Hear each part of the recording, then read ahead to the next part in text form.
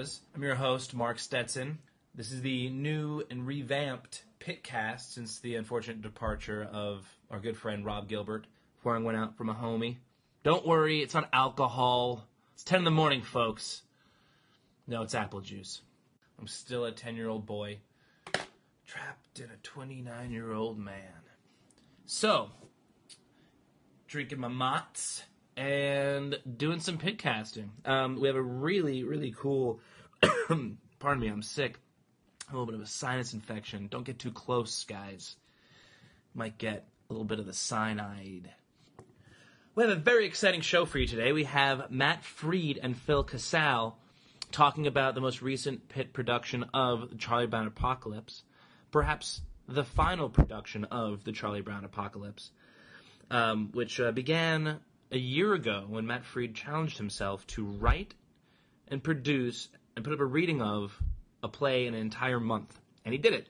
Uh, with a bunch of other uh, fellow Pittisons, and then um, more came on for the eventual run in the beginning of this year, and then uh, a remount back in November.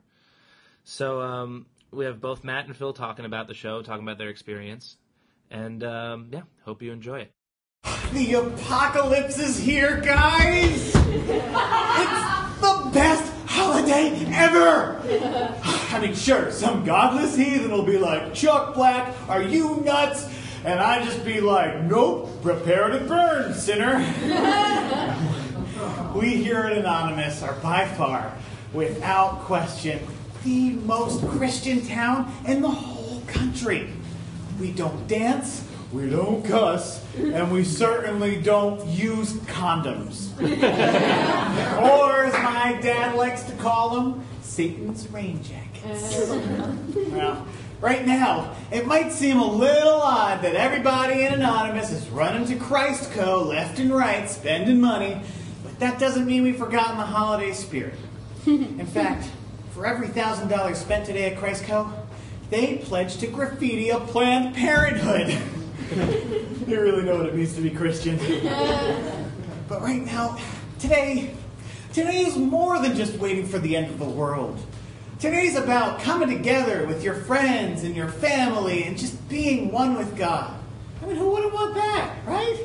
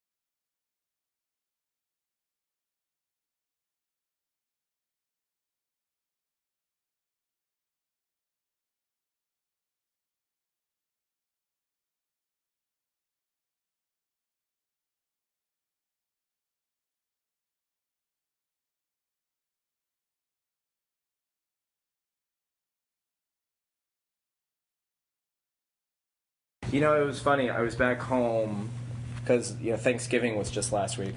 It's a weird thing to think that um, it's that like it's over. It's not like it's over over, but like that this year has kind of come to a close. This year with the show and everything has come to a close, and like it's been hitting me in different ways, but I haven't been getting super emotional about it. And then um, I was sitting in the couch of the den of my parents' house, which used to be my room, and I turned on the TV, and what comes on but like a Charlie Brown Thanksgiving. And and Mark, I kid you not, like within not even a minute and a half, I was just like bawling like a baby because I was like,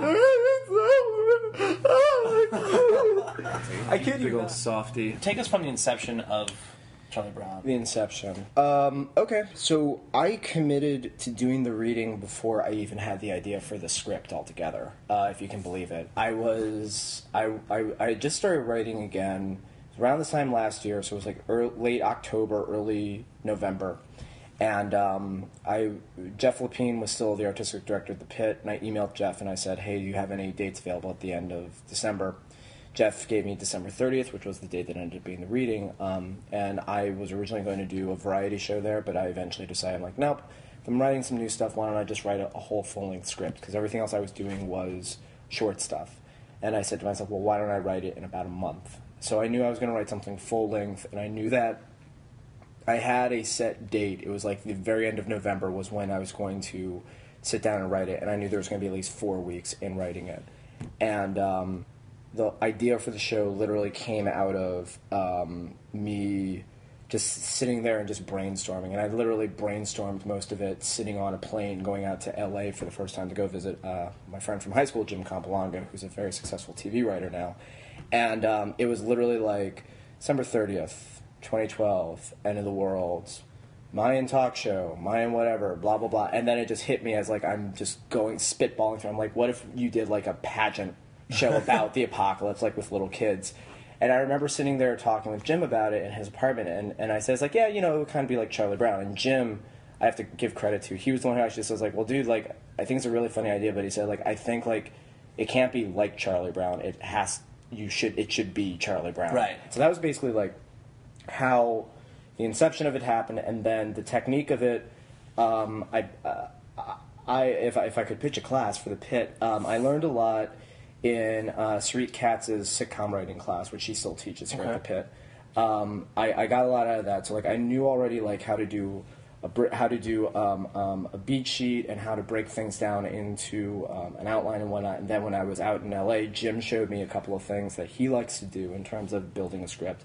And that was kind of how I began to uh, develop the plot and develop some of the themes and develop the characters. And then that basically took me through from the beginning of December until literally about December 21st or 22nd. I was back home in Haddonfield, New Jersey, my hometown.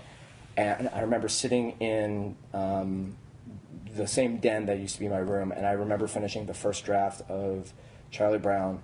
And I remember sitting of Charlie Brown Apocalypse. I remember sitting there and reading it, and uh, it was complete shit. I was just, I was just like, and I was in total freak out mode too because like I wrote because I wrote this thing. And it was, it was a.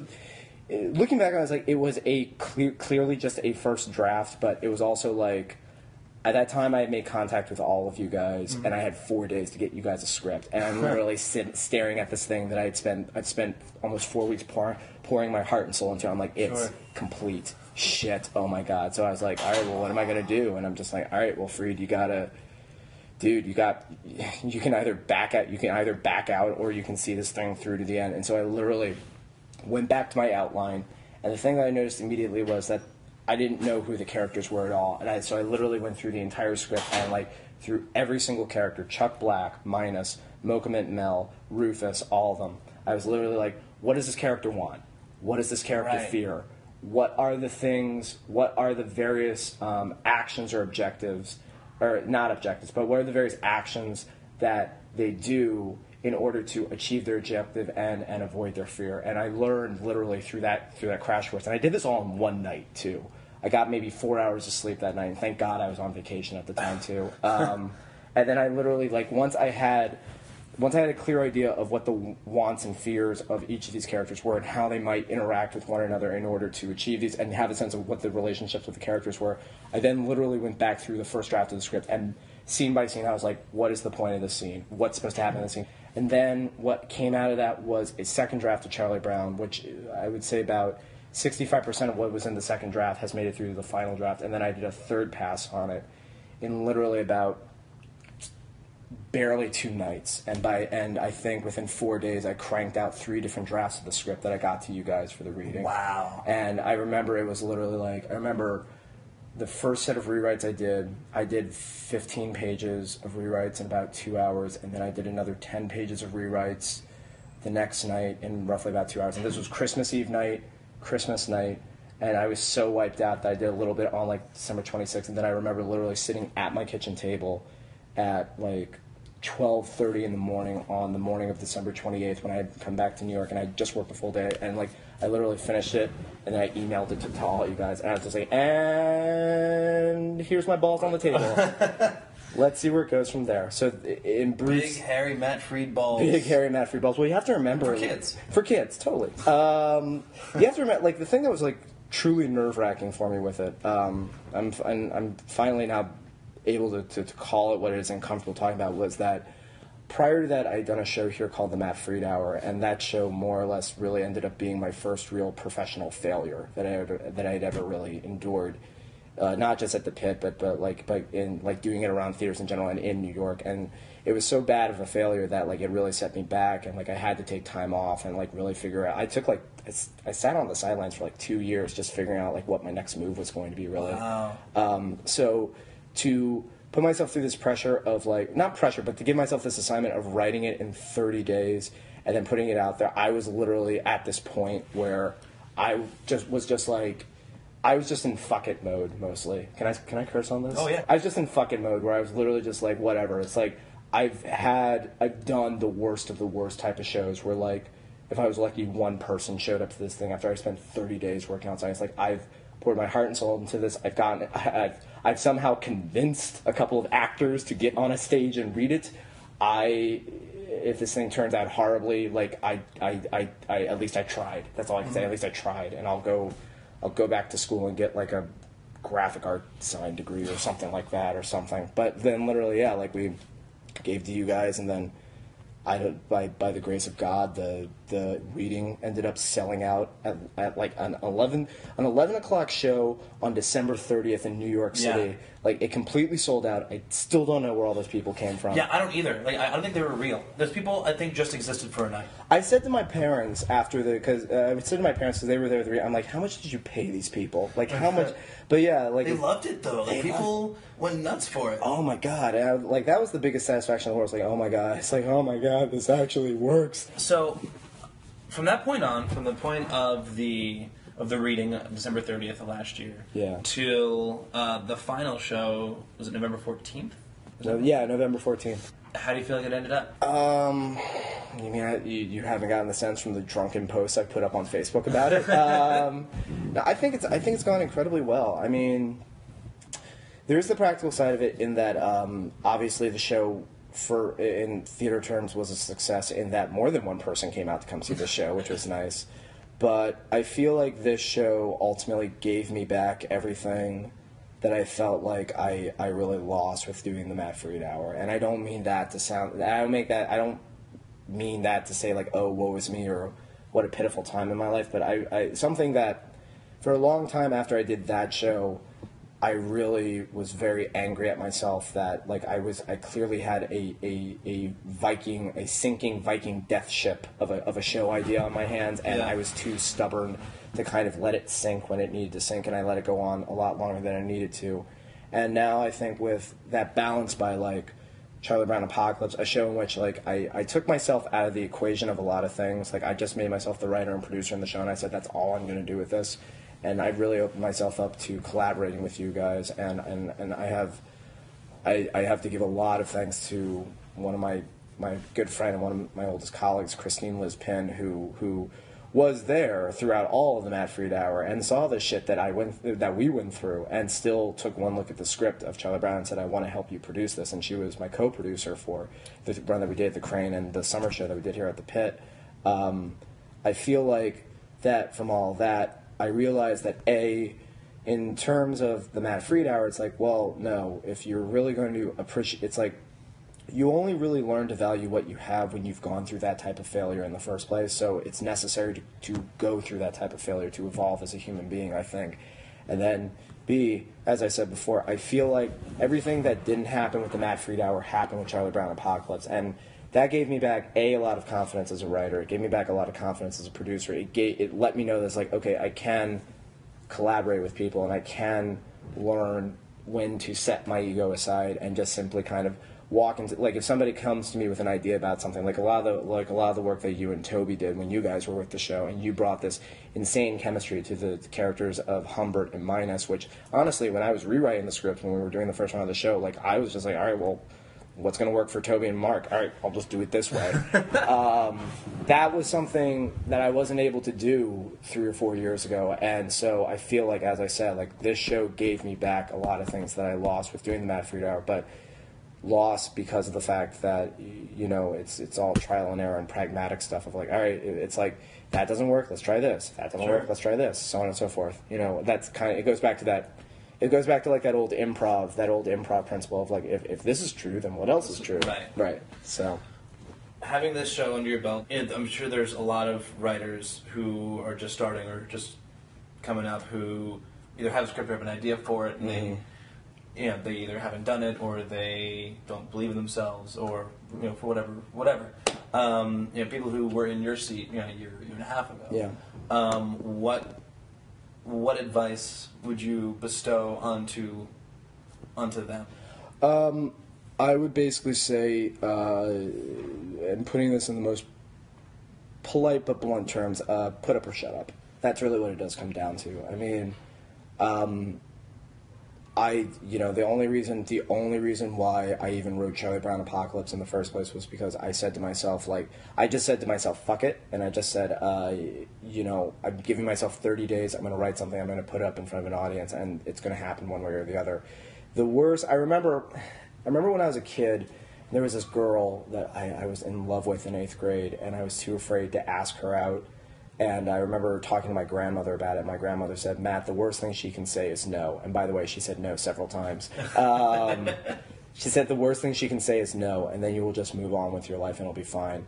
I, it's the same thing here. It's like the worst thing that's going to happen is that you'll write you'll write something um, and maybe you know like maybe 10 people will come out to come see it or maybe you'll get a full house and you know things won't hit as as well as you wanted them to hit or whatnot.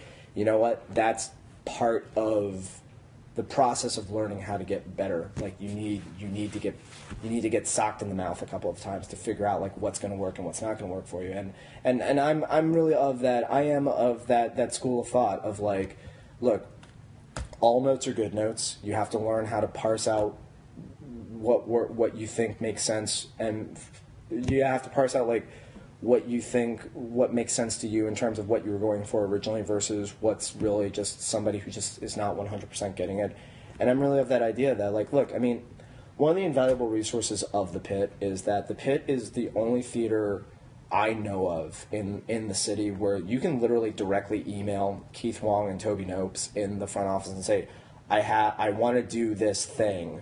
I want to do a reading. I want to do a one night or two night um, performance of the show that I'm writing. Like, when can I bring it to the pit? Like every, I mean, every other place, it's literally like you need to have a backer or you need to go through this long drawn out application process or you know this is the only place where you can literally just email somebody and be like hey i've got this thing that i've been working on and you're not going to do anything to take a look at it will you give me an opportunity and they will say yes we'll give you an opportunity they'll say we'll give you an opportunity on our terms in terms of what works for us but they'll still give you an opportunity one way or the other Absolutely true. They've done that with me a couple of times. Yeah. you know, with a couple of my shows and show ideas, and like it's it's like wait, really? All I have to do is Right. ask, Well- and you'll give me a space. Yeah, the Christine Danoon and Laura Steele show, someone to belong to. They're they're Right. that's an original musical, and it's literally like like they've got two they got two spots on uh they got two spots on the main stage. Uh, You want to know how they got that? They emailed Keith and they just and they pitched it to him and they asked. That's basically how it went down while they were.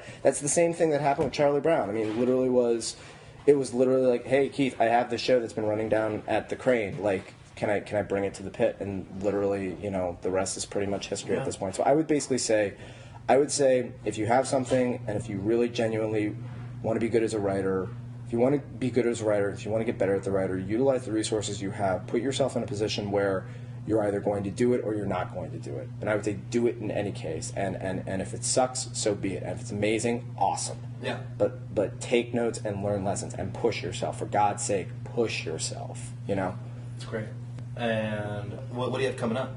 What I have coming up, um, uh, funny you should mention that, Mark. Uh, I am writing a uh, original TV pilot right now. Um, it is going to be, we're doing a, a live table read of it here on the one year anniversary of the Charlie Brown Apocalypse table read on the main stage um, on Sunday, December 30th at 6 o'clock. Uh, the working title of it, if you go to the Pit website, is called Matt Freed's Haddonfield Weezer Project.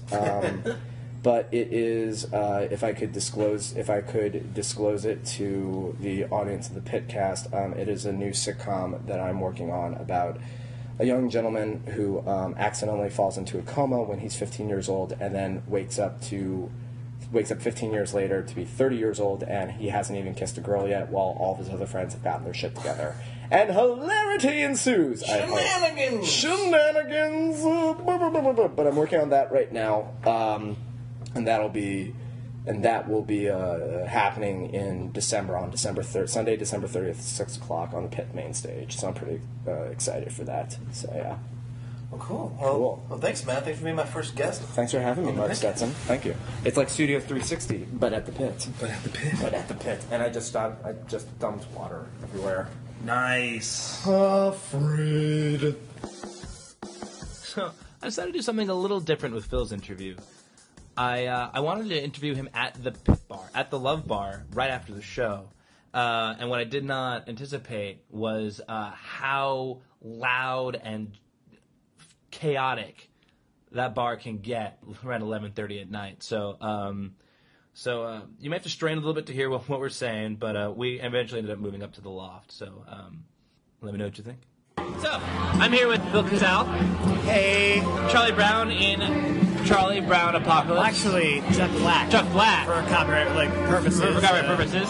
We don't want the pit to be subject to anything. No, I mean you wouldn't. I mean you were Linus. Uh, well, you were minus. well, were oh, minus. Well, copyright. Right. Yeah, cop- copyright. Copyright. Bill, you uh, you guys just finished the second run. Yes.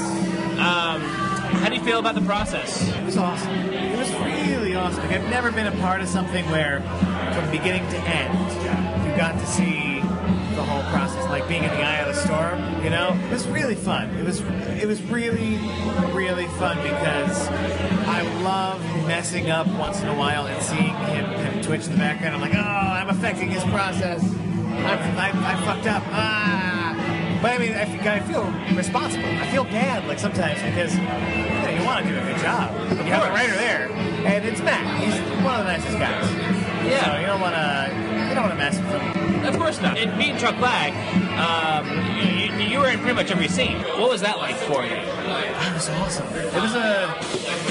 I felt responsible because I had to know my lines. Uh, but I've I've done it. You know, I, I did a lot of high school community theater where I was the lead in uh, Godspell. I was Jesus. Uh, Really? I was Jesus. Yeah, I was Jesus. So, Uh, so, so you can sing. I can sing. With the theme of the show being about the apocalypse, what is what was your feeling being the central character in this show with this potentially historical event coming up?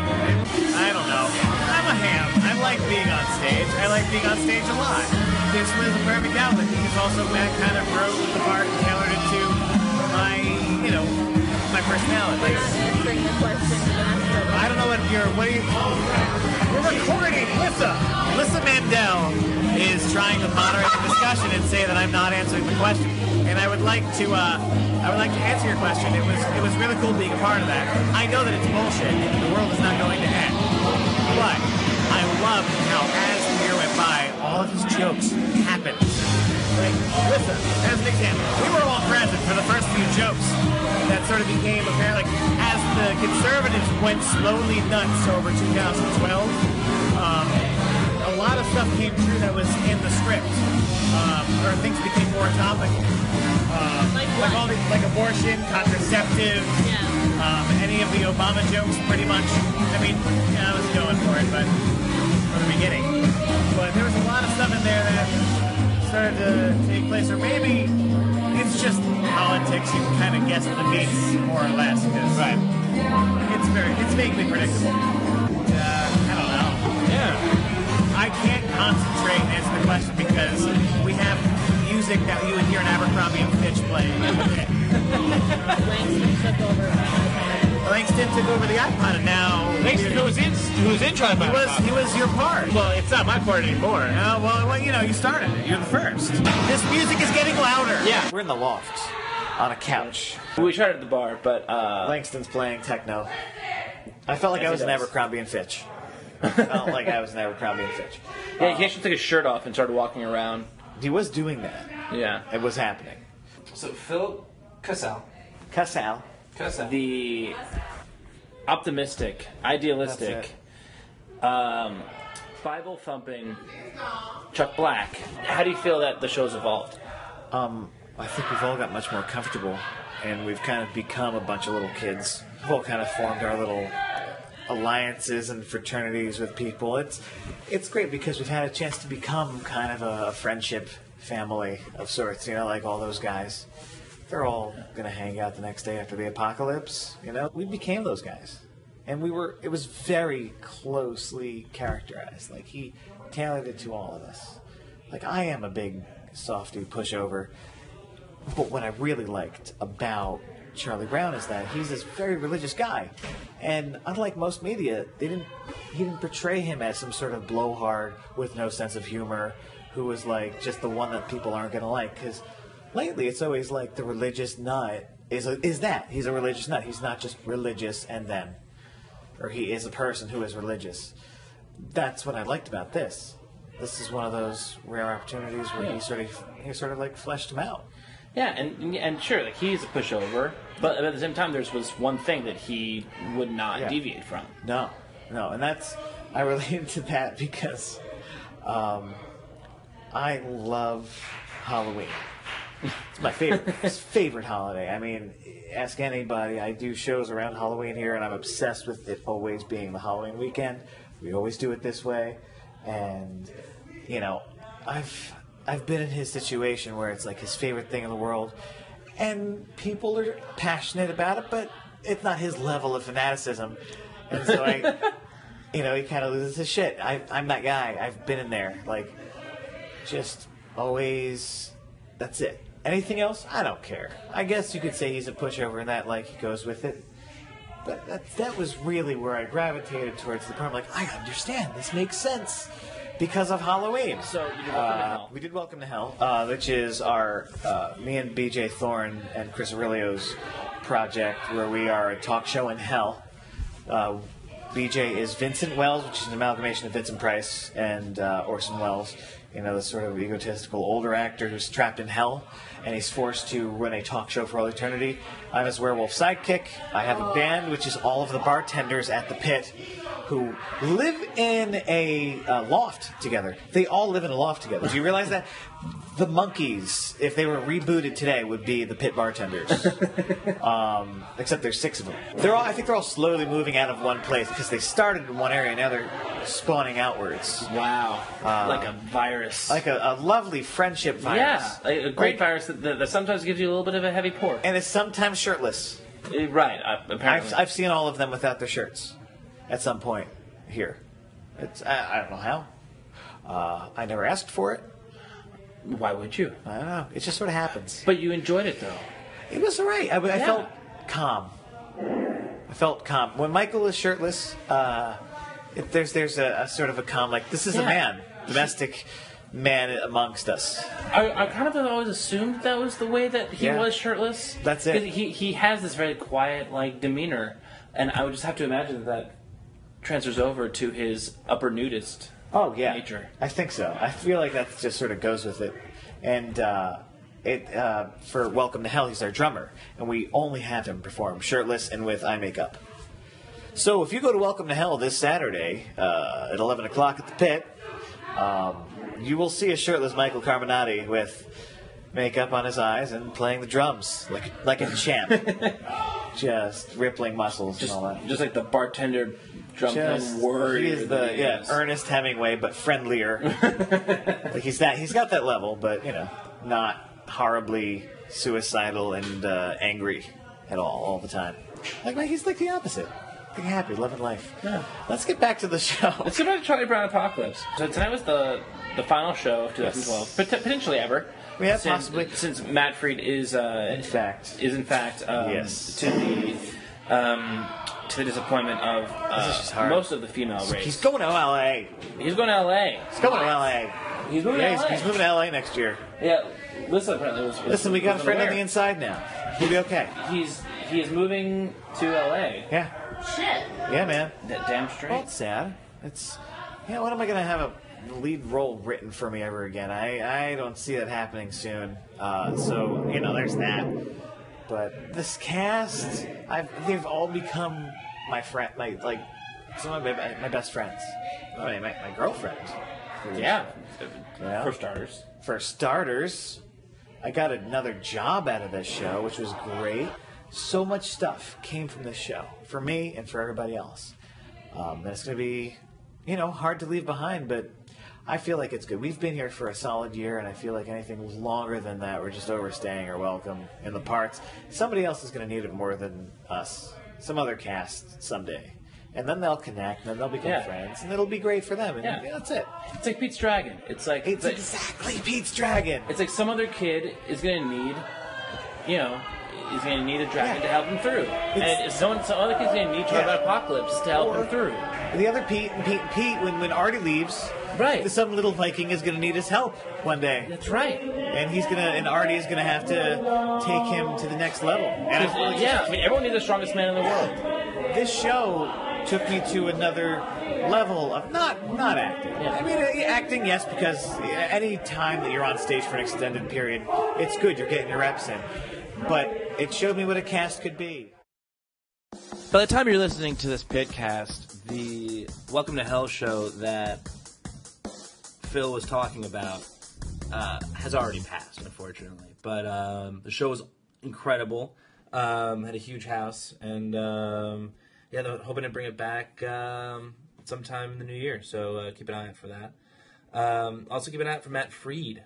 So because if you see him, um, make sure to say to say hi and wish him luck in LA because he is leaving in late March, early April uh, to go and um try his hand in La La Land. And of course, make sure to listen to the actual Pitcast with Ileana and Mo of the Day Camp Kids. And uh, yeah, just keep listening and keep taking classes, keep performing. As Matt Freed says, put up or shut up.